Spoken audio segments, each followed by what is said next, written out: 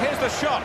That is a fantastic goal. Well, the fans are chanting, going up, going up, and you can understand why, because uh, they are surely going up. One point needed at the start of play here, and they look as though they're going to get three, and they're not going to need those other games.